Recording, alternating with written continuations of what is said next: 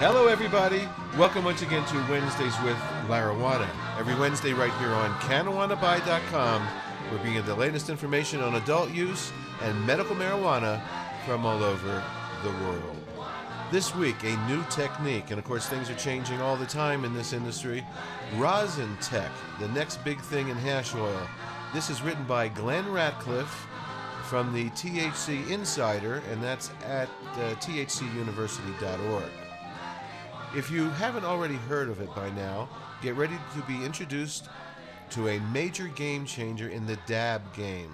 Rosin is a brand new type of marijuana concentrate that was developed earlier this year by Soil Grown Sal. It's got everyone talking because this new exciting substance is completely solventless and pretty darn easy to make. Rosin is named as such because of the method for making it is in the same vein as making violin rosin. Both of the processes involve heat extraction, but rosin hash can be made safely in your own home. Even more exciting is the only materials you'll need is a standard hair straightener and some parchment paper. And by simply placing a little nug between some parchment paper and firmly squeezing it with the hair straightener, you can get some incredibly clean, tasty hash. Here's what we're talking about. This is a uh, hair straightener uh, with uh, Teflon pads, and uh, this is the parchment paper. So you just put a nug in between the paper, fold it over, and squeeze this, and uh, that's how you make this oil. And we'll go on from there. Rosin uh, is still pretty new, so everyone is eagerly experimenting to unlock its true potential. Some of the main reasons rosin has people so interested in it is because of its potentially high yields, health benefits, and the simple and safe extraction process.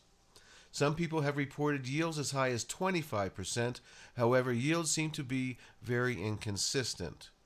Uh, they usually vary between 8 and 16% with the, with the heat of your flat iron and the amount of pressure and time applied to uh, being used for the main variables.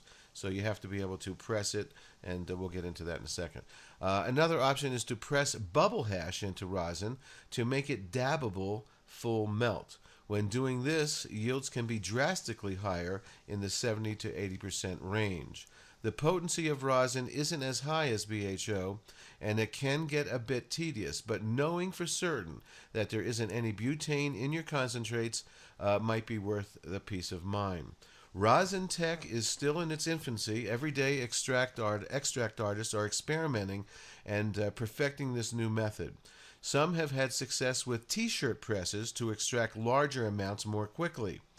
The best part of the rosin has to. Uh, the best part about rosin has got to be the fact that it could be given to thousands of patients access to a way to make their own clean medicine safely. Uh, in a non medical state. You could, of course, use this yourself.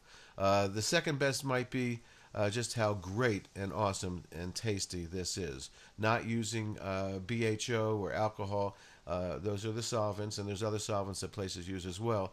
This is very, very clean. The ideal temperature has been said to be between 230 and 300 degrees Fahrenheit.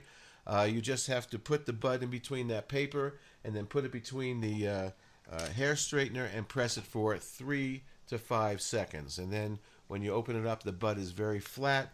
You take it off, you scrape up with a little uh, scraper the uh, uh, the oil that's on the bottom of the paper, and uh, you start collecting it. Uh, I've been told that if you start with two grams uh, of uh, of uh, bud, you can get a very nice dab. So that's it for this week. And of course, uh, CannaJuana Buy has great products, probably for dabbing and for all kinds of cannabis needs. Whether you're a uh, patient, a adult user, uh, head shop, great products, fast shipping, great prices. CannaJuanaBuy.com. Don't forget my weekly medical marijuana radio show every Saturday night, a new show at mmjradio.com.